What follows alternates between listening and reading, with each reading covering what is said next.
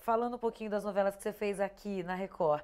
Em, em 2020, na, com a perda da sua mãe, você estava fazendo Gênesis 2020. Exatamente. Como é que foi, é, é essa Exatamente. coisa de fazer uma novela bíblica com a coisa do luto? Não, eu gosto muito de fazer novela bíblica. É sempre uma oportunidade maravilhosa de fazer um exercício histórico, né? um trabalho de pesquisa, fazer personagens de uma realidade totalmente diferente da sua. Eu gosto de fazer isso, de me transformar em personagens diferentes. E eu estava gravando a novela quando aconteceu o processo todo do, da, do, da Covid da mamãe. E foi muito rápido, foram 21 dias. Uhum. Então, quando ela faleceu, eu teria gravação naquele dia. E o pessoal da produção foram, foi muito generoso comigo, eles me deram uma semana, obviamente. Mas depois de uma semana, eu, eu lembrei muito da mamãe quando perdeu o papai porque eu pedi, eu dei a ela trabalho.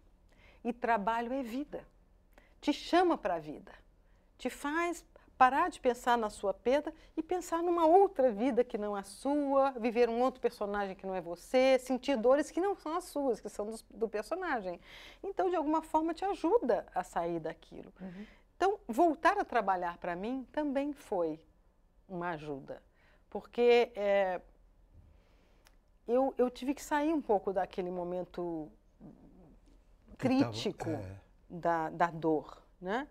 Porque é uma dor tão forte que você fica meio anestesiado, sabe? Então, é, eu vinha trabalhar, era bom, porque eu saía um pouquinho do que eu estava sentindo, eu saía um pouquinho da minha dor para viver o personagem e aquilo me alimentava de alguma forma, né? Cada trabalho nosso é uma doação muito grande, mas a gente também é alimentado, recebe muito em cada trabalho. Então foi positivo para mim voltar a trabalhar.